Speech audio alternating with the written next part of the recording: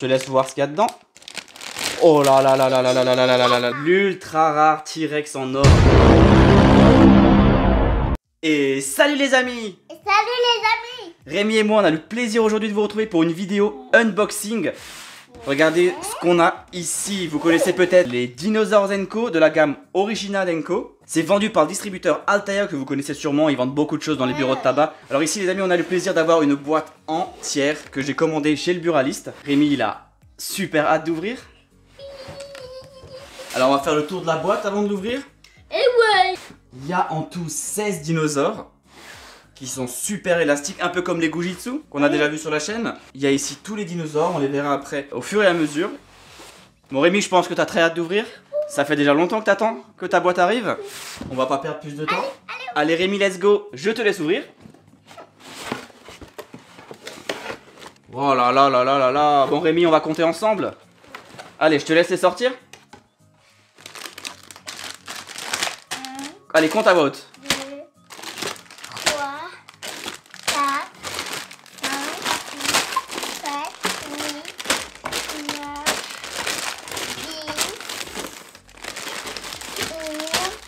10, 11, 12.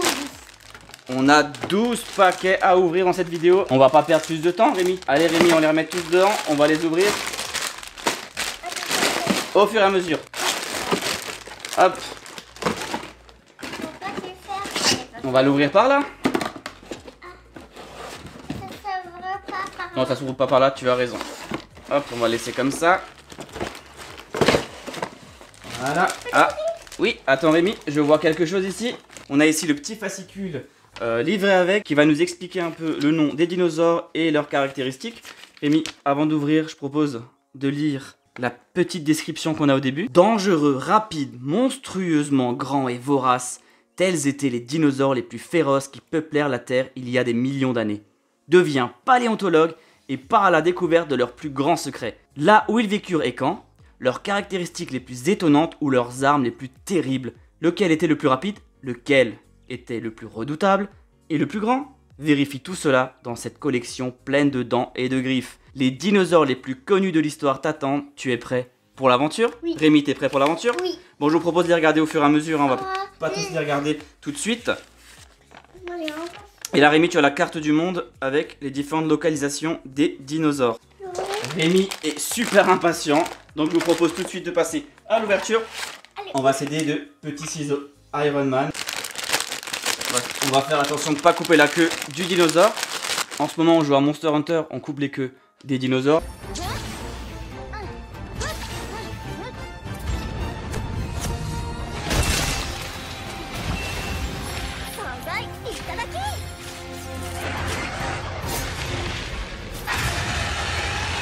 Mais là, faut pas le faire.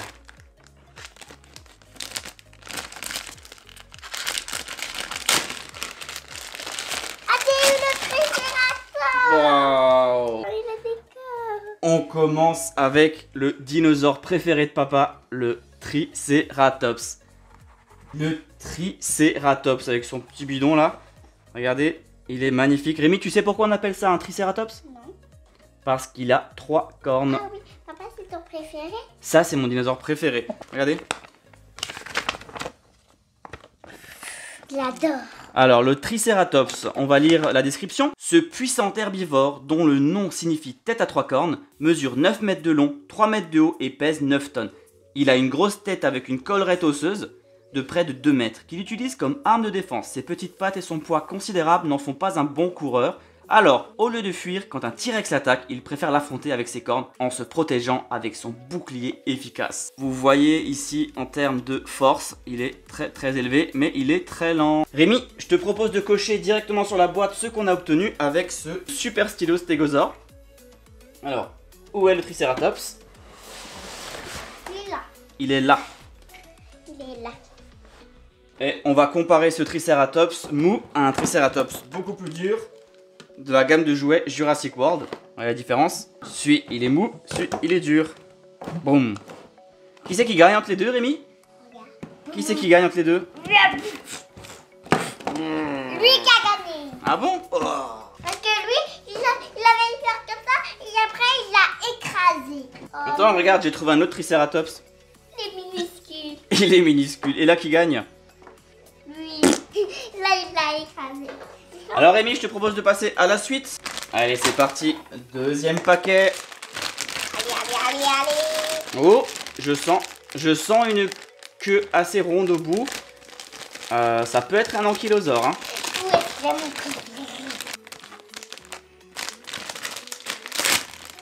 Oh, attention, qu'est-ce que ça va être? C'est encore mon préféré. oh, oh là là, il est magnifique. Alors lui, c'est Avec ta queue de défense, tu peux faire tout.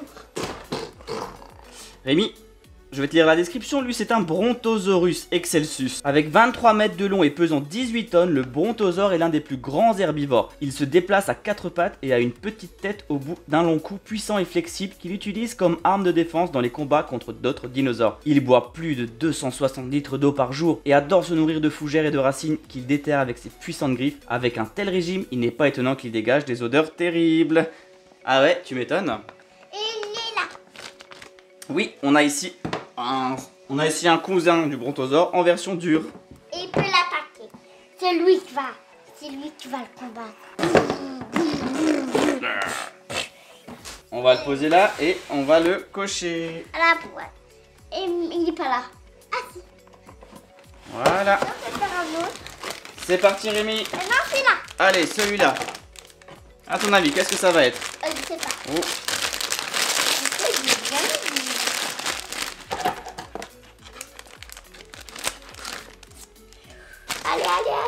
Attends, patience.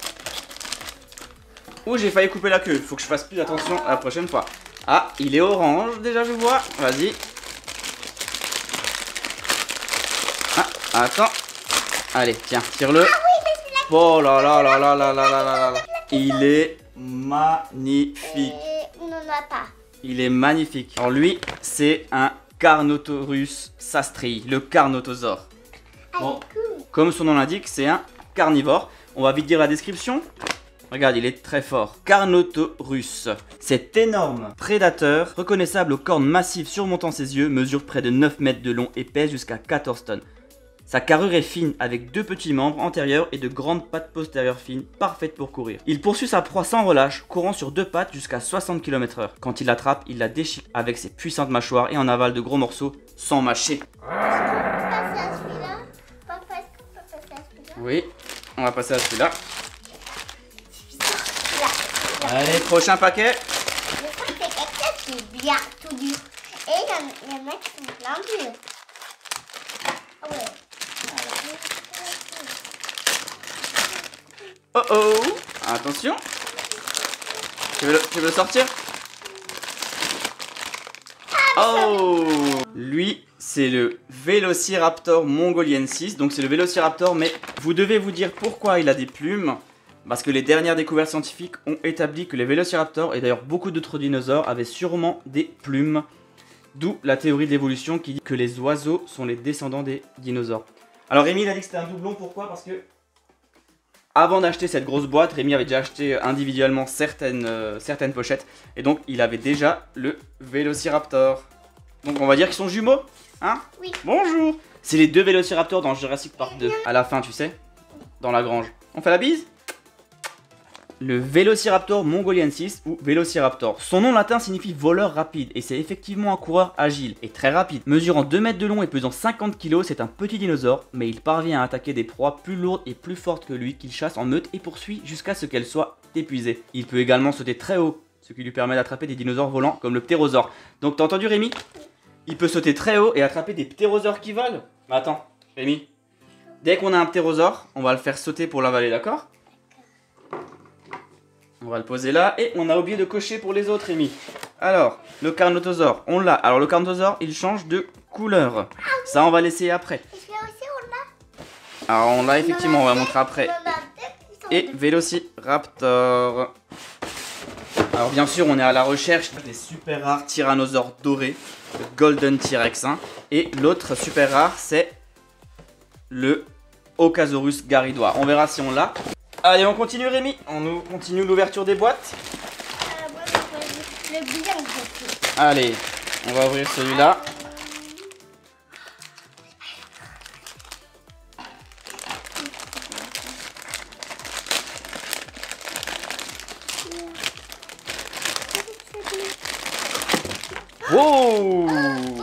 Alors ça, euh, La question de couleur. avec mes... Alors ça, je crois que c'est un spinosaure, on va vérifier. Tous. Effectivement, c'est un Spinosaurus aegyptiacus spinosaure. Sa longueur de 15 mètres, sa hauteur de 6 mètres et son poids de 20 tonnes en font l'un des plus grands carnivores. Mais lorsqu'il combat d'autres dinosaures, il déploie l'immense voile qu'il a sur le dos, soutenu par des épines pouvant mesurer 2 mètres pour paraître encore plus gros et fort. Il peut nager et rester longtemps sous l'eau, où il chasse de gros poissons, mais également de petits reptiles volants qui viennent boire à la surface. Alors le spinosaure, pour ceux qui ont vu Jurassic Park, c'est le gros dinosaure qui attaque le T-Rex dans Jurassic Park 3. Et voilà le beau spinosaure. On va le cocher. Oui. Quand on l'a coupé, on va, on va en ouvrir un autre. Et je les ai tous. Je les ai tous. Je les ai tous. Check. Allez Rémi, on continue. Maintenant, euh, l'ouvrir. Non, pas celui-là. Euh... Ah oui, celui-là. Celui-là. Euh, celui-là. Est-ce que ça va être un ultra rare, Rémi? Roulement de tambour. Ah ah ah ah. Alors, je crois que celui-là, tu l'as déjà eu. Ouais. Celui-là, pareil, ça va être un jumeau. Parce que Rémi l'avait déjà eu dans une pochette qu'il avait acheté à part. Alors, on va lire la description très rapidement.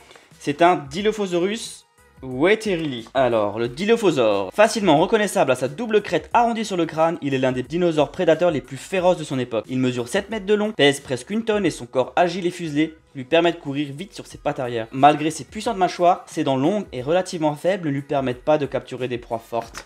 Donc voilà, on a le Dilophosaure. Il est là. Il est là. Il est là, on le coche.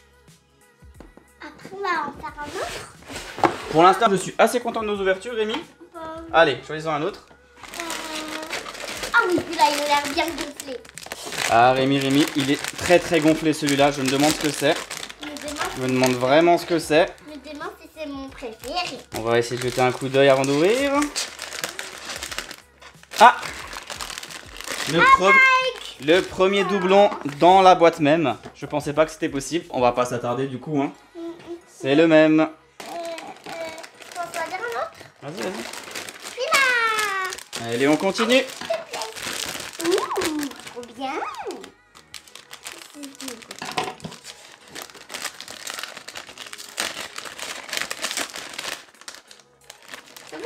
Vas-y, ouvre. Je crois que c'est un doublon. c'est notre troisième paire de jumeaux euh, de cette boîte. Parce que Rémi l'avait déjà eu individuellement. On va le cocher tout de suite. C'est un Dracovenator Regenti. Il est ici. J'adore. Alors, il change aussi de couleur. Tout ça, on va essayer après. Alors, le Dracovenator. Caractérisé par une crête sur la tête qu'il utilise comme un casque robuste, c'est un petit prédateur. Il mesure seulement 5 mètres de long et pèse une demi-tonne. C'est pour cette raison qu'il préfère chasser en groupe. Il poursuit de grands dinosaures en courant vite sur ses pattes arrière et en les surprenant par des accélérations soudaines et des changements de direction rapides. Quand il atteint sa proie, il la capture avec ses puissantes mâchoires et ne la lâche plus. Allez Rémi, on continue l'ouverture. Ah, vous voyez, vous voyez les amis, on a presque plus de paquets. Et il y en a plus que. Il y en avait plus que 4 et j'ai pas eu mon Pourquoi c'est mon préféré celui-là J'en ai assez moi. Papa, elle a préféré.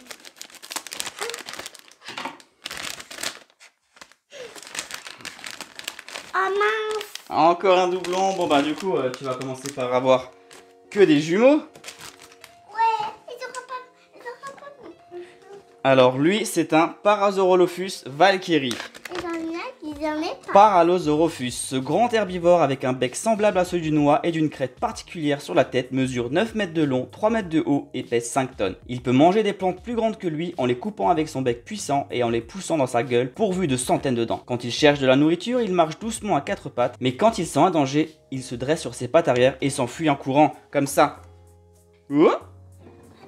On va le cocher tout de suite. Il est là.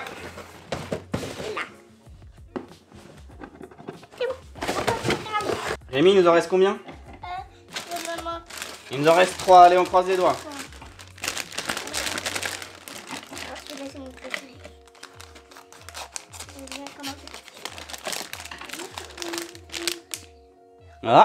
Je crois que tu l'as pas celui-là. Attends, attends, faut voir.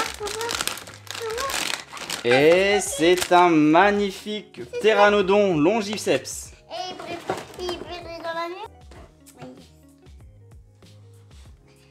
Hop, on va lire la description.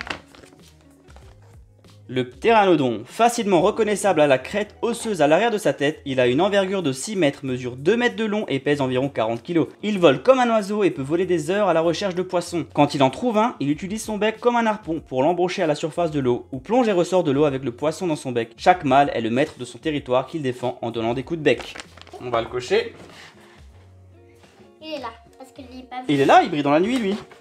Mais normalement. Pteranodon longiceps. On va essayer tout à l'heure.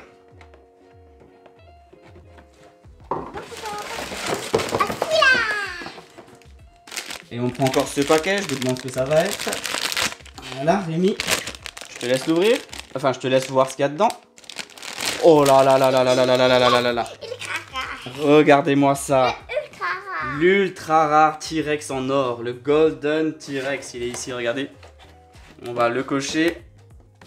Magnifique, regardez-moi ça.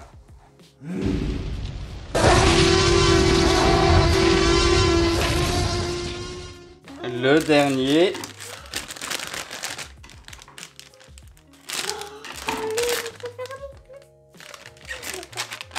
Oh non. Et Oh. c'est la surprise, Rémi, c'est comme ça. Un autre jumeau que Rémi avait déjà eu. Pas mon préféré. Alors on va le lire. C'est le Pterodactylus anticus. Le ptérodactyle, avec une envergure d'un mètre, une robe caractéristique et ne pesant que quelques kilos, il ressemble à une chauve-souris. Et comme elle, il vole avec agilité. Au sol, toutefois, se déplaçant à quatre pattes et se reposant sur ses pattes avant, il est lent et maladroit. Il attrape des poissons avec son long bec en volant à la surface de l'eau, puis les stocke dans son cou, pourvu d'une poche, comme les pélicans. Et vous avez entendu Rémi, il en a parlé, il y a certains dinosaures qui changent de couleur dans l'eau chaude. On va tout de suite essayer, on a les trois qui le font. Alors le spinosaure est censé changer de couleur. Ah bah ça commence déjà, vous voyez. Vas-y. Il devient blanc-bleu. Il s'éclaircit beaucoup, c'est super. Tu as vu ça Rémi. Alors on leur fait prendre un petit bain dans une baignoire rose. Il est jaune. Il devient jaune Ah oui, on voit déjà. Laisse-le dans l'eau. On le voit déjà devenir jaune. Et lui il devient Blanc. Donc les amis, on a mis juste de l'eau chaude. Un bon petit bain. On peut en mettre. Ah bah oui, il est- il est devenu vraiment blanc. Regarde ça Rémi. Ça c'est l'espace jacuzzi. Hop. Ah, On est bien là. hein. Euh, Rémi, tu me ramènes un petit cocktail? Merci. Et on a le carnosaure qui devient tout jaune. Et ce dinosaure là, il passe, vous voyez, du bleu au blanc. Ça marche super vite. On les fait sécher pour voir combien de temps ils mettent à reprendre leur couleur. Mais lui, il passe longtemps. Ça met du temps, t'avais déjà essayé? Oui. Et maintenant, on va essayer de voir celui qui brille dans la nuit. Alors, le Gigantosaurus carolini, on l'a pas eu, mais on a le Pteranodon longiceps. On teste tout de suite. A few minutes later. Il n'y a plus qu'à éteindre le panneau LED. 1, 2, 3. Pas. Il est censé être fluorescent. Il va pas. Euh, bah alors, c'est bizarre. C'est pas la caméra, hein, les amis. Ça ne brille juste pas, en fait. Oui, ils ont fait, ils ont fait une blague. Ils ont fait une blague. On va rallumer la lumière. Hop. Je fais un petit aparté. Rémi n'avait pas eu tous les dinosaures qu'il voulait. Alors on lui a commandé trois dinosaures qui lui manquaient. On a réussi à les trouver sur internet, notamment l'ankylosaure qu'il voulait tellement. Donc pendant le montage, j'ai reçu le colis.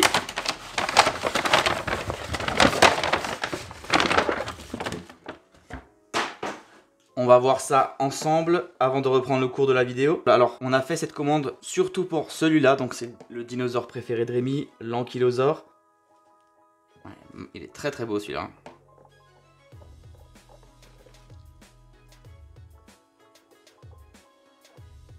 Qui est donc ici en version super maxi. Il est plus grand que euh, les autres dinosaures. Il est Ankylosaurus magniventris. Cet énorme herbivore de 6 mètres de long, d'environ 2 mètres de haut et de large et pesant jusqu'à 4 tonnes ne craint aucun prédateur car il peut compter sur d'excellentes armes de défense. Il est en effet recouvert d'une armure épaisse avec deux rangées de pointes le long du corps et quatre cornes tournées vers l'arrière. Si le prédateur n'est pas effrayé par sa taille massive et son apparence invincible, il le frappe avec sa queue puissante semblable à un club de golf.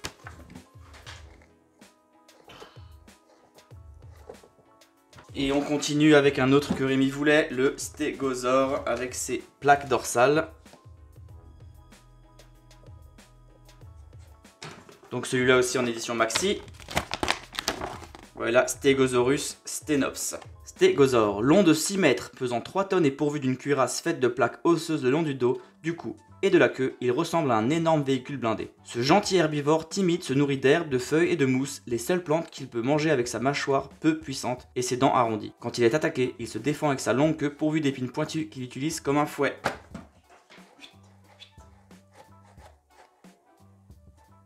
Et enfin, le dernier qu'il a reçu dans ce colis,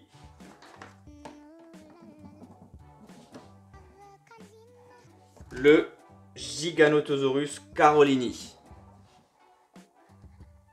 Il est cool celui-là. Giganotosaure. Avec ses 13 mètres de long, ses 4 mètres de haut et ses 13 tonnes, c'est l'un des prédateurs les plus redoutables. Impitoyable et vorace, il chasse toutes les espèces vivantes, mais ses proies favorites sont les grands dinosaures herbivores. Quand il en trouve un, il le poursuit en courant jusqu'à 50 km/h, ses mâchoires étant moins puissantes que celles du T-Rex. Il assomme d'abord sa proie avec ses pattes avant de la déchiqueter. Celui-là, c'est une version qui est censée briller dans la nuit. On va essayer tout de suite. Et on éteint la lumière.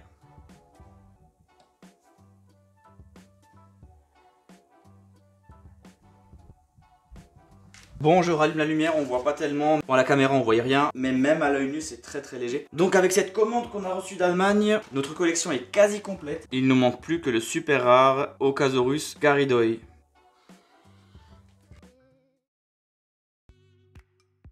Et voilà pour cette ouverture de la boîte complète des Dinosaurs Co. Oui. On a pris énormément de plaisir avec. Rémi à faire ça. Alors Rémi avait très hâte. Et en plus, c'est pas euh, mon préféré.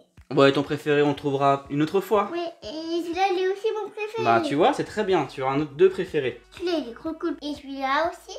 Et celui-là aussi parce qu'il peut attaquer comme ça. Et c'est lequel ton préféré? Mais moi, euh, c'est celui-là.